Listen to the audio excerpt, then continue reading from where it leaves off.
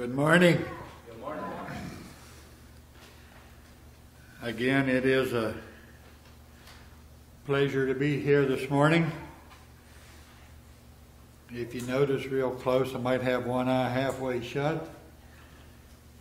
It was a long 10 days. It was a long trip coming home, and I'm still tired, but we're going to get through this. I'm only one of nine is just as tired as I am. If Matt doesn't go to sleep back there, we might get through this together here today. I've entitled my message this morning, Go. Now that might seem fairly obvious of what the message is going to be about.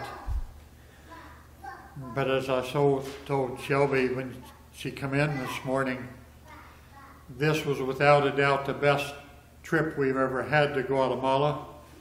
And I've said that now for 18 years. But it is about the best trip we've ever had. We had a wonderful team to go with us. We did a lot of, I think, good. We did a lot of work. Uh, the other eight took care of me pretty much and didn't work me too hard. Uh, so it, it was just a wonderful, wonderful, blessed trip. For the scripture this morning, I'd like to read from Matthew, the 28th chapter, verses 19 and 20. And I'm sure you all know this scripture very well. Go ye therefore and teach all nations, baptizing them in the name of the Father and the Son and the Holy Ghost, teaching them to observe all things whatsoever I have commanded you. And lo, I am with you always, even unto the end of the world. And over in Luke, the 12th chapter, verse 48, it says this For unto, for unto whomsoever much is given, of him shall be much required. And to whom men have committed much, of them they will ask the more. And then again, back in Matthew, the 25th chapter, verse 40, it says this Verily I say unto you, inasmuch as ye have done it unto one of the least of these my brethren, ye have done it unto me. Would you bow your hearts with me in prayer? Heavenly Father, as we come before you at the throne of grace, I thank you, Lord, for this morning. I thank you, Lord, for allowing me to be here and to speak on your behalf. And I pray, Lord, that everything I say will be in accordance to your word. I pray, Lord, that they will be your words and not mine. Father, you've blessed me undeservingly. And you've blessed me through the people of this congregation, as well as many other congregations. And it seems like I get all of the reward for all that they do. I get the reward for the goodness that you put on my heart that I couldn't do with the help without the help of many, many, many others. Thank you, Lord, for that. Thank you, Lord, for the opportunities that you've given. And I pray today that the words I am allowed to speak will be a blessing to everyone that hears. Because, Lord, they truly are part of everything that took place for the last 10 days. Thank you, Lord. In Jesus' name I pray. Amen and amen.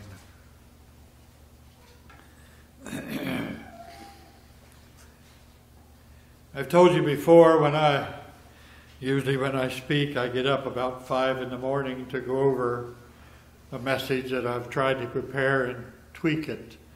Well, I'm not going to tell you that today. I got up at four o'clock this morning and put a message together because in Guatemala I had planned on preparing this message. That didn't happen.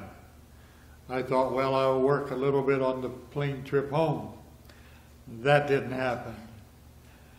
When I walked in the house yesterday morning at 20 to 6, I had just enough time to bring my baggage inside the front door, sit it down, and I was asleep at 10 minutes until 6. Yesterday was my wife's birthday. We chatted a little bit, talked about the things that took place in Guatemala after I got up, after 12 o'clock. And we went out to dinner and just had some good visiting time with people. And I went to bed last night about 9 o'clock again. So what you are getting is hot off of the press. Now, it's not anything new and it's not anything unique because I truly believe God has given me what to speak on today. Some of you have heard some of this before from the mission trips in the past. But I don't care what happened last year, the year before that, everything that happened this year was unique. It may have been of the same nature, but it was truly unique. It was truly inspiring. And it was truly a blessing, I believe, to everyone that went with us. I, being the old man of the group, claimed the biggest blessings. The other eight wouldn't be part of it. We had a young 18 year old girl with us for the very first time. That, of course, just like when Shelby went, we all worried how is this going to be? How will she fit in? Will she be a blessing or will she tear down what we've done? And just like when Shelby went, this young lady was a blessing to our group. She was amazed. She was blessed. She was part of the group. And last night, or this yesterday morning when we dropped her off, she said she would love to go again. So I tell you again, it was a wonderful, blessed, glory filled trip that we had that we call missions. 19 years ago, a mission trip to a foreign country was the farthest thing from my mind. I didn't want to be a missionary at all. Now, I will say that I admired those that was willing to go on mission trips to do the preaching and the teaching. And I was willing to help. I'd put a few dollars in the plate when it was passed to fund the mission trips. But that's all I wanted to do when it come to missionary work. That was 19 years ago. 18 years ago, I went on my first missions trip. Not because I wanted to it be said that I was a missionary, not because I wanted it to be said that I was doing God's work, and not because I had missionary work on my heart. I went to shut up my best friend, which happens now to be my pastor. But I went so he would shut up and leave me alone and get off my back and quit pestering me to go on the mission field with him. I had no desire to go to a country that I didn't even really know the exact place it was. I knew nothing about their people and I couldn't speak Spanish. Why would I want to go into a place like that? I just told you, just to shut up my pastor. That was 18 years ago. And that was 23 mission trips under my belt. I went a few times, twice a year. What made this trip so special? Maybe the people that went with us. And all of them by one, but one had been there more than once. As I said, we had a young lady go with us for the very first time.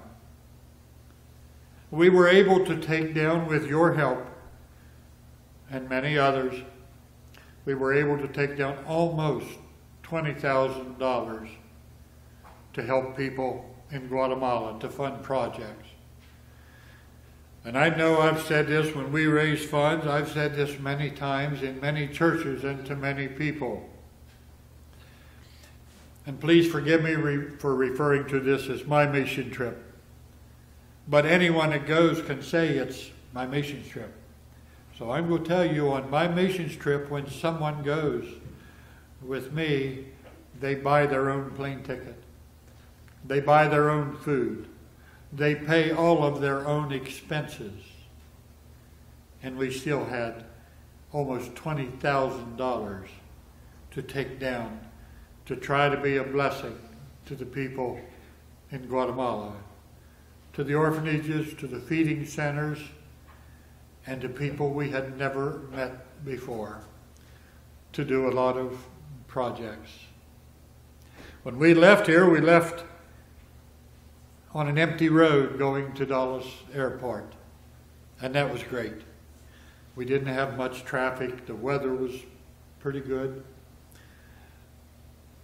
and which was a rarity from it had been in the past. We got to the airport and we zipped, nine of us, well, six of us on the first leg, zipped through the ticket counter in just about 15 minutes.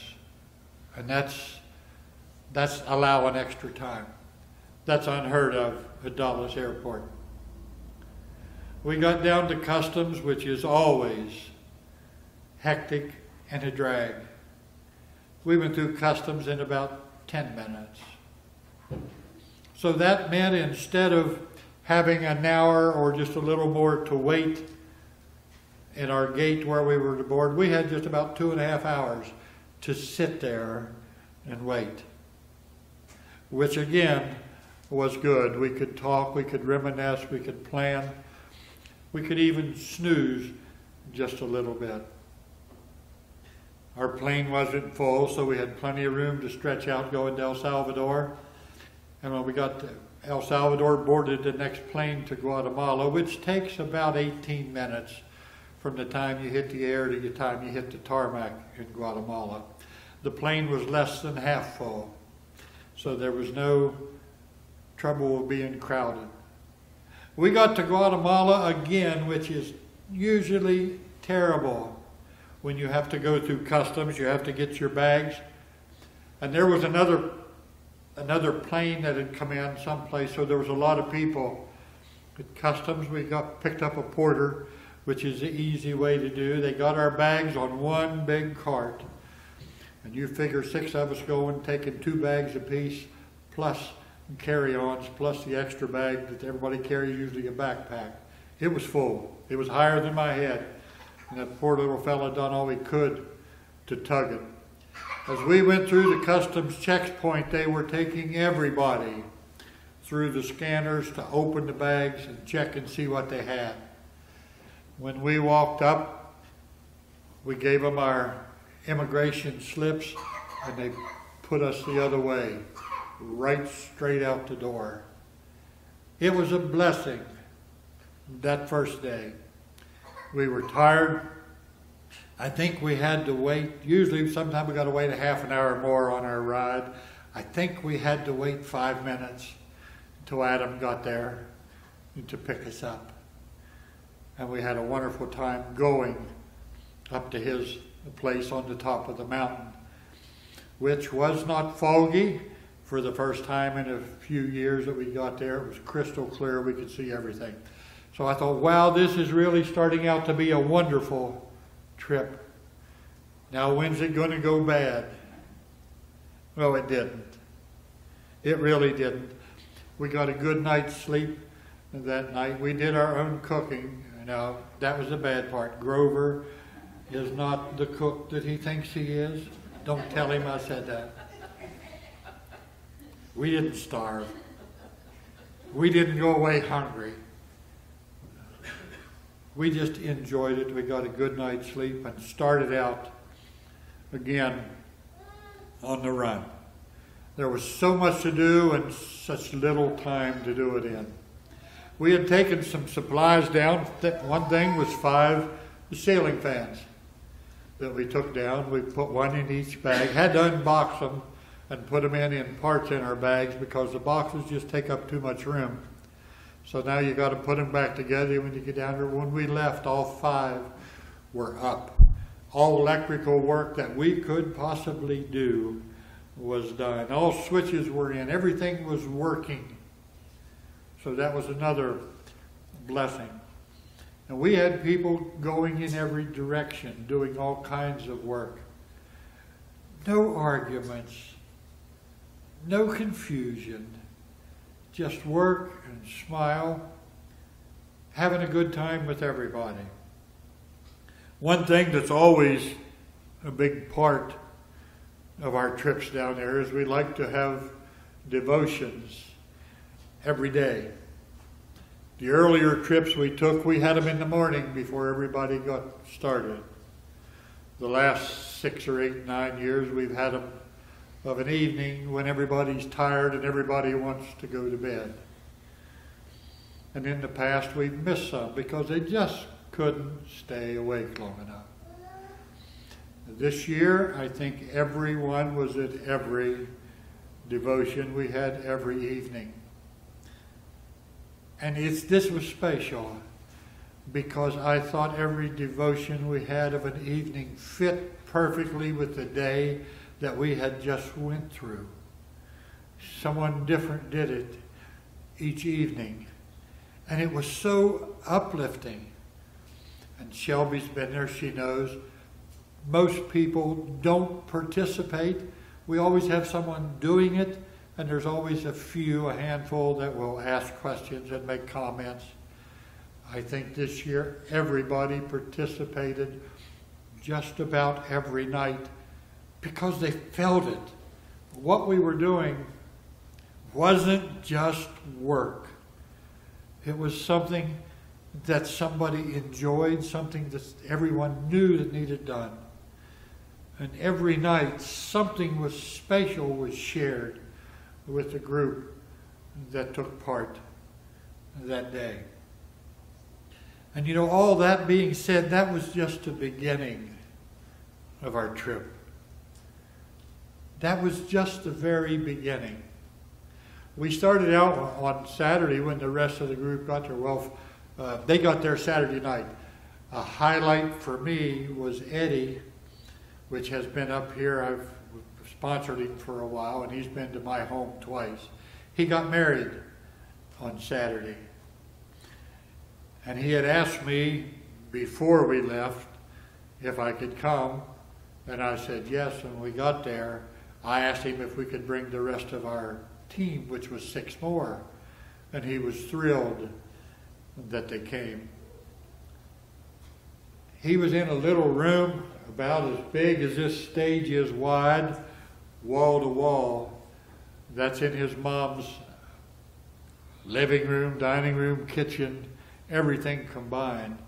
And there was about 60 people crammed in this room. The wedding was beautiful. His wife is beautiful, was scared to death. As a, a groom, Eddie was scared to death also. But it all took place. We were blessed to be part of it. We couldn't stay for the reception because uh, I had the privilege of preaching that night about 15 or 20 miles away. If you remember last year, we talked about the volcano that had come down and wiped out a whole village. And a pastor uh, had watched so many of his family perish with the lava and the hot smoke and so forth. We helped him to buy a piece of land and to build a church. Well, he had it. And this year he asked us to come out and speak, and I had the privilege of speaking. That's, I'm not making light of it. That's something uh, so so. But we speak every year.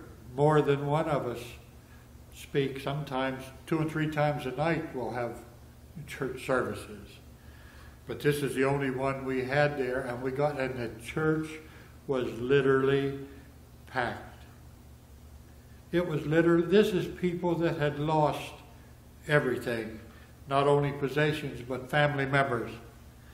And they were there smiling and praising God, and the church was packed. They had saved from their old church one loudspeaker. Now, as Shelby can tell you, when you go in as a visiting missionary, and especially if you're gringos, you get the coveted seat in a church. Now, they have big speakers. They like lots of noise. They make a lot of with their band or their piano, their drums, whatever. It's loud, and they set you right in front of them up front. You're, that's the coveted seat. Well, it was no different this year. That's where we got. They set my hearing aids crazy even when I had them out, they were still buzzing. But they had one speaker left, and we were blessed, not as a group, not with the funds we took down, but individuals in our group. Blessed them with the monetary means to buy new speakers. They had the microphone that when they held it, it had the wire, and they had to keep jiggling the wire so it didn't cut out. It was it was like they were you and them. Maybe that's what we heard a lot because it cut out. And when it, there was sound, a lot of it was static. So we helped them with that too. They fed us. I have no idea what it was. I couldn't pronounce it anyway. And then they brought us a hot, I found out later it's called a banana atol. And I looked up this morning about six o'clock what was in it, and it's a banana and milk and vanilla and cinnamon, and it's hot, and oh, is it good! Oh, is it good! So they blessed us. Now they have nothing, but they blessed each of us with food and with a hot banana atol. It was 10:30 before we got home. But we thoroughly enjoyed it. We yacked and talked all the way for the last three years when I go down. Rather than hire a driver, it saves us money so we can use the money we would pay for a driver, we can use that on another project that's needed. So I have helped Adam by driving his one of his vehicles. And you, you can't imagine what the traffic is like in Guatemala, even at 10 at night. You can't imagine the lack of road courtesy, the lack of laws, the narrow streets. But I've been blessed for three years to drive down in Guatemala, and none of my people have had a heart attack that ride with me. But it, it was wonderful anyway. We got back home and the other three of our group had arrived. And they had a, the same kind of experience at the airport with tickets and everything as we did. No hitches. Everybody got there. Everybody was tired. And everybody went to bed early. We got up the next morning and went to church down at Casa. Wonderful message. We got to hug on the kids for the first time since we'd been there and they just sort of swarmed around us like they, they do. Maybe for an hour and a half after church we were there, and then we had to leave. we had to start going, doing work. Adam had went and bought the food that we were going to feed the families with in the churches. He had done that uh, on Saturday morning before we went uh, to the wedding. They'd also went that morning to the orphanage. I believe it's a handicapped orphanage. And if you haven't heard it before, this is the orphanage where they only take kids that are terminally ill, that don't have long to live, because no one else in no other orphanage in Guatemala wants to take on terminally ill kids. They say it's a waste of money and time tending for those because they're going to die anyway. But we were able to bless them. We had a lot of thousand dollars when we left here for that orphanage. And we took part of that in food and part of that in cash to bless them with. I did not get to go with it because my leg and my back were giving me so much trouble I would have been just a fifth wheel when it come to loading and unloading the supplies. But the stories I heard when I come back was just astounding how they had appreciated everything that we had done for them. This is not in any order that we did things, but so much was done. We went to the big church and fed, handed out over two, about 250 bags of food to the needy. Now, Matt and Grover and have put together or are putting together a slide presentation that you'll see later of what goes in those bags. And it's like five pounds of beans and rice. There's uh, salt and sugar and oil and oatmeal and mush. This year we put in picama sauce, which is green and it's hot and it's a very favorite of theirs down there. There was so much food in the bag, they were actually heavy. And uh, we've always put it in plastic bags until last year. I think we started taking bags from here. Sheetz had donated a bunch of bags, and they were about that wide and about that high with handles. And you couldn't completely shut them. They were so full of food.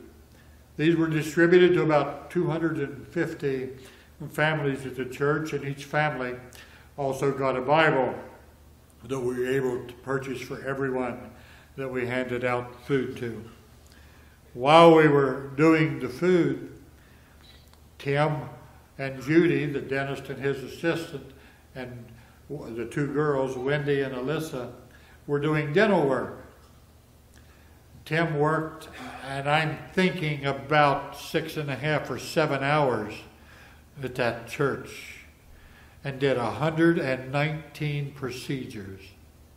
There was very few cleanings. There was a lot of extractions and fillings and wisdom teeth. He even reconstructed one girl's mouth. It, she, it looked like a pitchfork with her teeth the way they were. And he filled and realigned, and, she had a beautiful smile after about an hour, 45 minutes to an hour.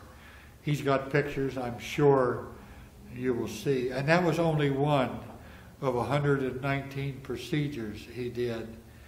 When he got back to the house, he was a walking zombie. He was tired. Judy was whipped one day.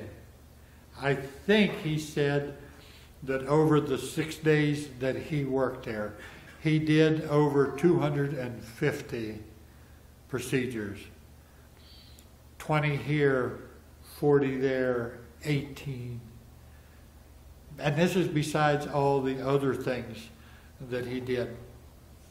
One of the most memorable, I was talking with Matt this morning when we come in, one of the most memorable, one the definite most blessed time I've ever been a part of in handing out food to the needy, Bibles to the, each one that we give to, is the last night we was there, we had saved food to feed the people around Adam's place. They watch, when he's in the States now, they watch his place. and they really like him. He talks to them, he helps them, he, he shares with them all the time. So they make sure, as much as they can, that nothing happens to his property while he's not there. Last year we fed him. This year he said, I want a bag for every family. So we had 40 bags of food fixed up. We can hand out 40 bags of food in less than a half an hour. We didn't do that. When we left the compound to go just 250 yards away from his and start feeding these 40 families, we decided beforehand we had many, many hot dogs left over from the hot dog roast we did at Casa because they only had 272 people, I think, at Casa, orphans, this year. It goes up and down all the time. So we had a lot of hot dogs left over. We decided to fix a lot of hot dogs, put them into buns, put them in great big dish pans. And as we handed out food and Bibles, we also give everyone there, from the youngest to the oldest, a hot dog. You'd have thought it was Christmas. They literally enjoyed it. They sit around, they talk. What should have been a half an hour feeding program lasted more than an hour.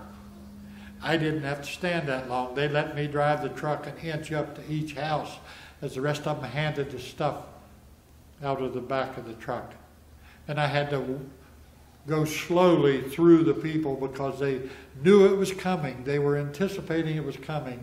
And they were just standing everywhere. As I'd go through, they'd be brushing the side of the truck. When we got to the last one, we had so much food left over. Two women come up and told Adam, there's a village way over there on the other side of the mountain. And when they say way over there, they mean way over there. Adam said, We'll go over there and feed them. They're, they're actually praying for food over there. So we decided to go that way. I had two people and three people in the car with me. The rest of ours, the six of ours, Adam and the two women that told Adam they needed food over there, all rode in and on the back of his pickup before we decided to get all the way over there, there was a, a young lady on top of the mountain. And they say the road's steep. We got there, we probably drove a mile on very, very steep road. And when we got to the steepest part, he didn't think that his Tahoe would go up over there without burning out the clutch. So everybody got out of mine, all supplies were put on the pickup, and everybody rode on the back of the pickup because it's four-wheel drive. And I sat at the foot of the hill while they literally climbed. I couldn't have walked it, so steep.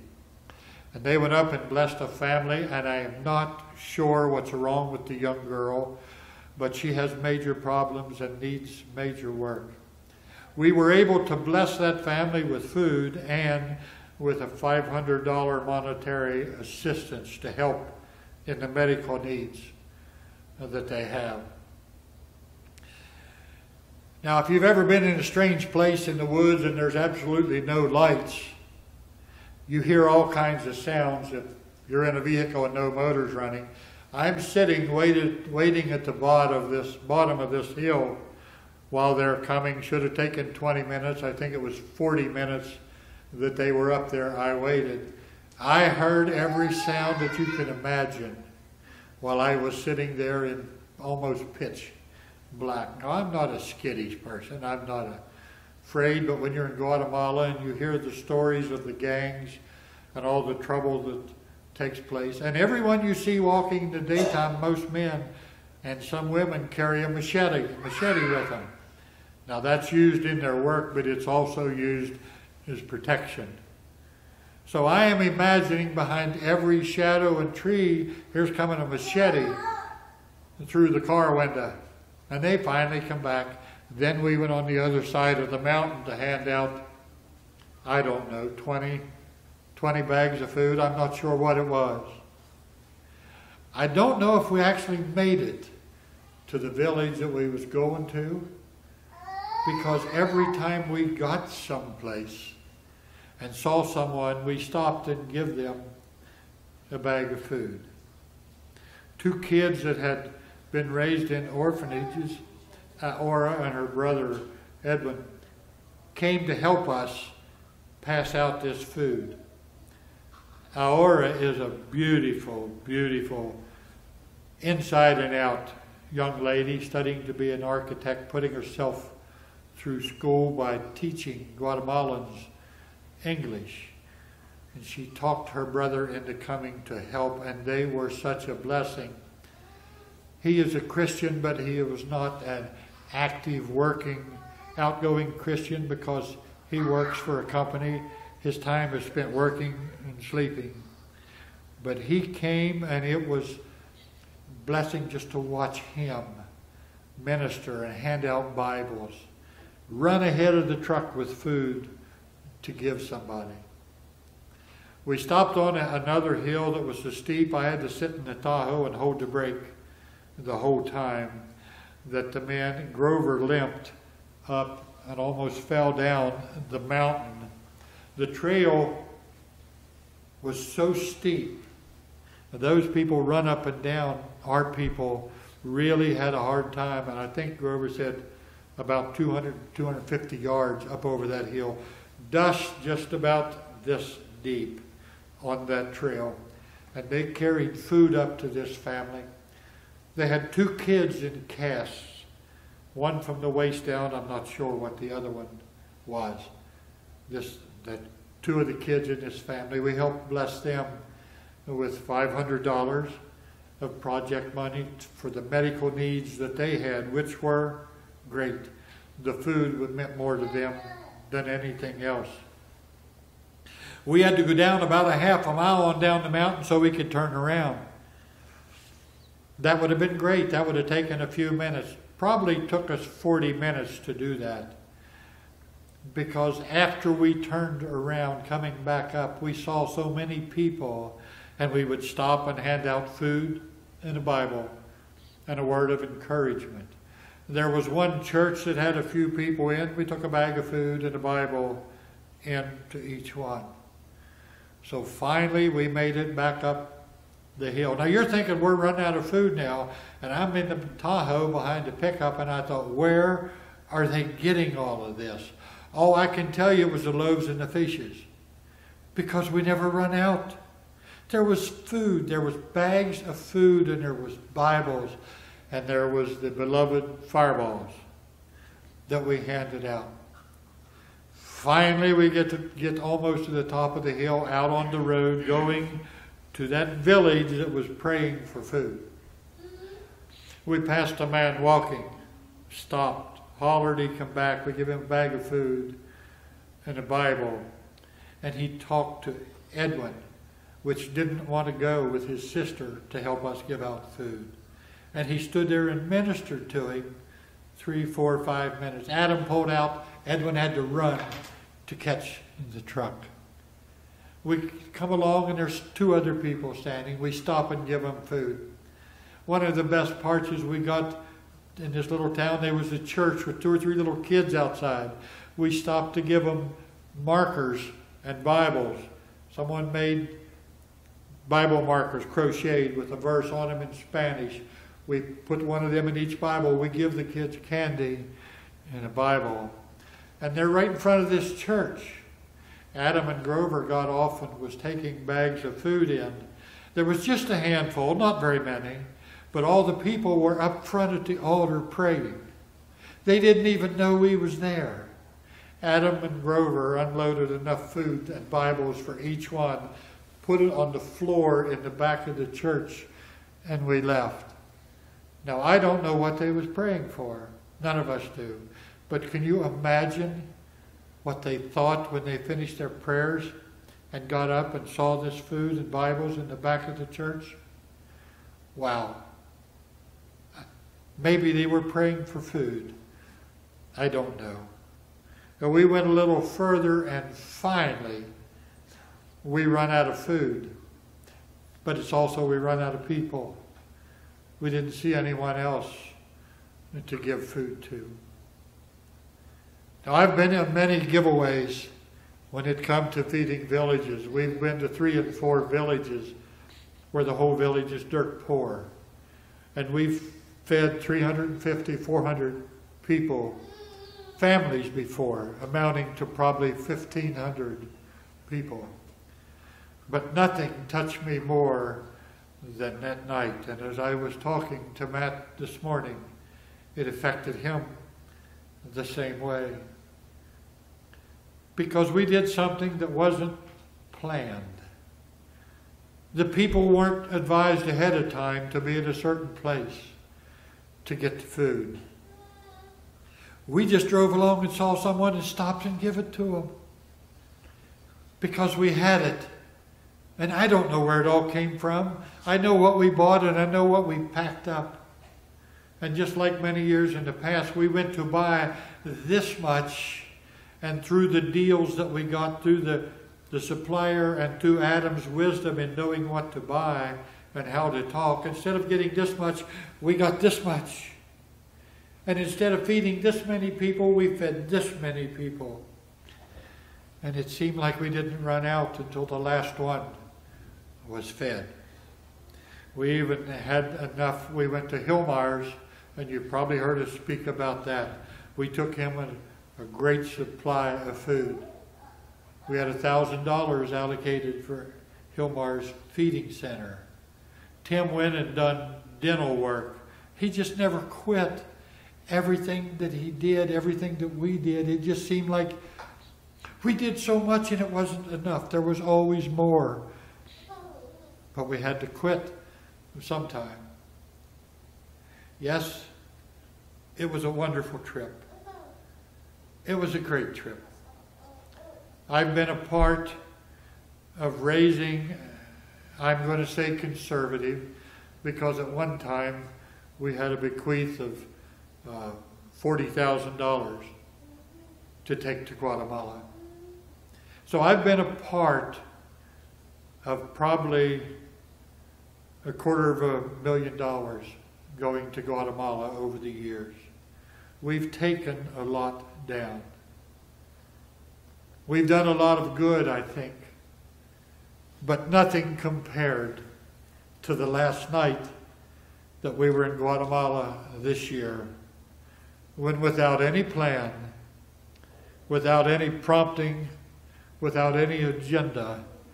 We got in a vehicle and drove along a road and blessed people that we thought needed help, those that we met. And I'm sure the people that were there were put there at that time for a reason.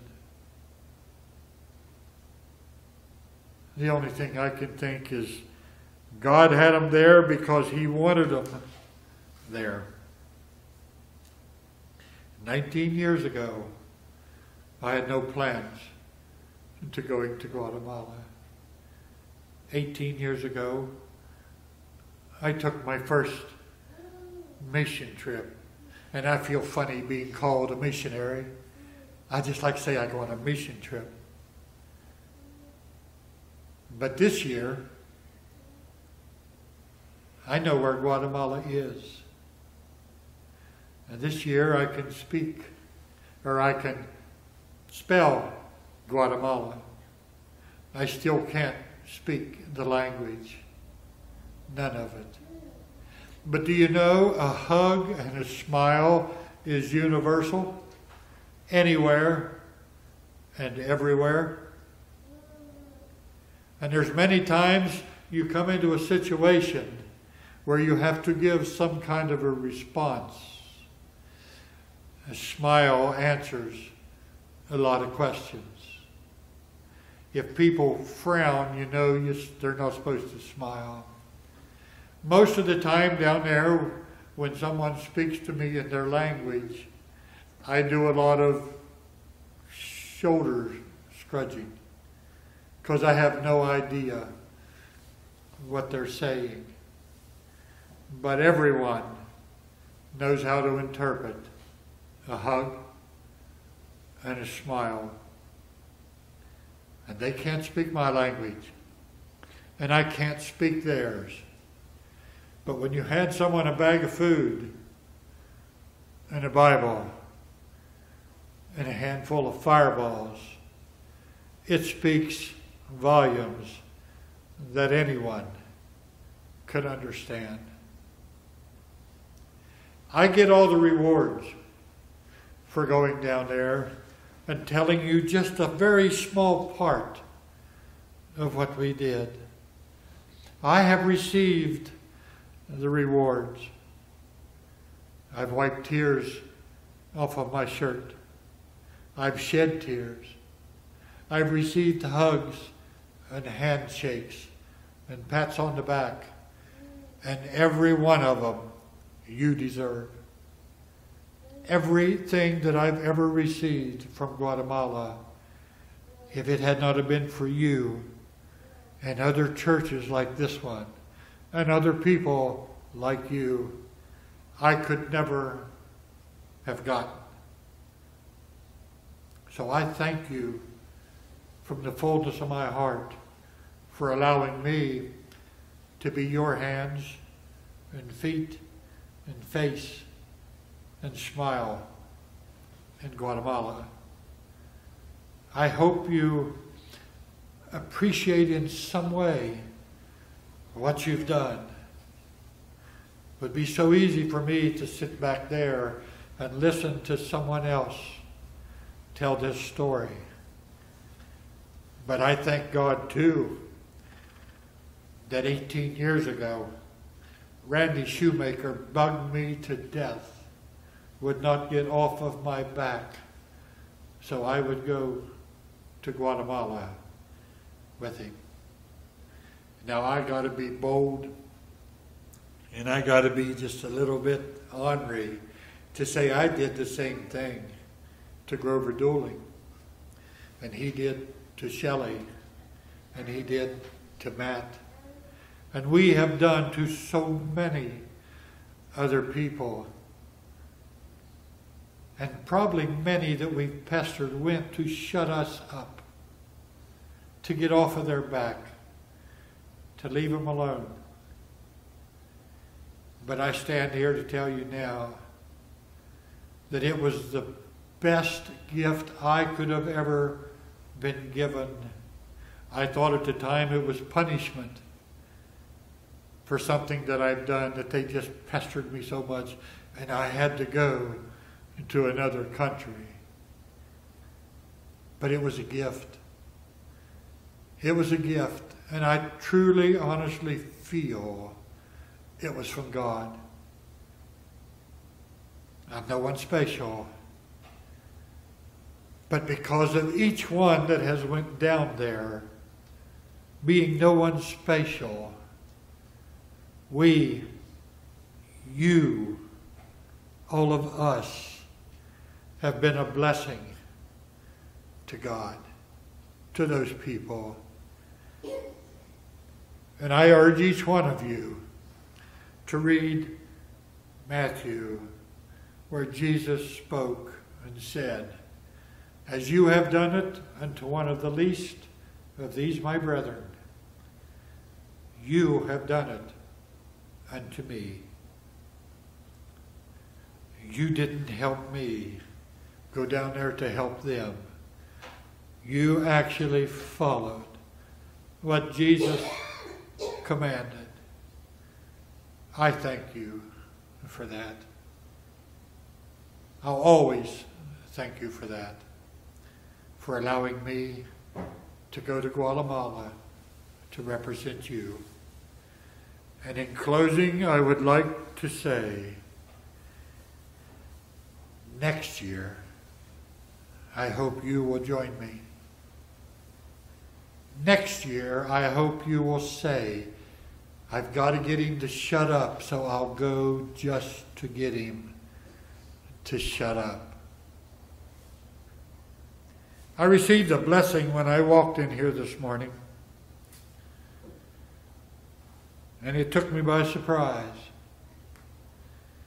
I opened the door back in the sound room,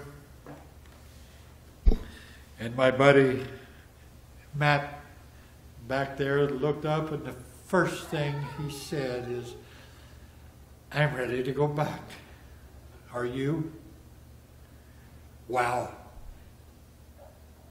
Wow. I'm ready to go back. Are you? I'm waiting for the day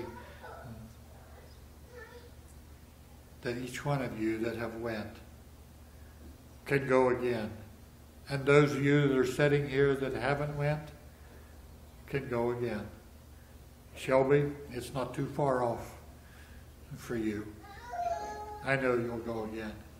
And I urge each and every one of you that have helped us and those that have thought about it, consider not just being an enabler, and I couldn't do it without you, but consider not just being an enabler, consider going.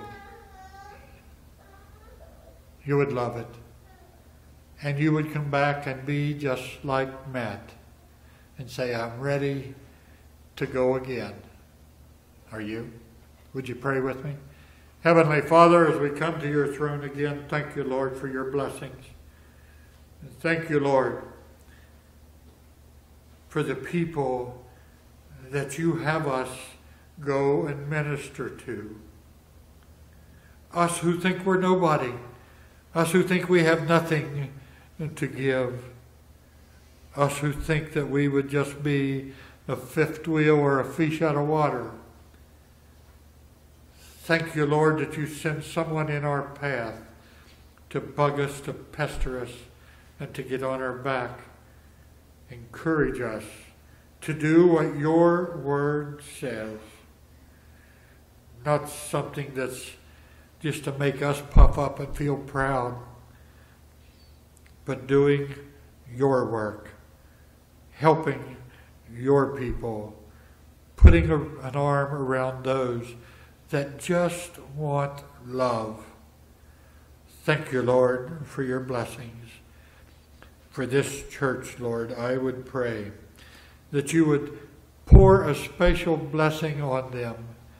Like your word says, that's so big that they don't have room to contain it.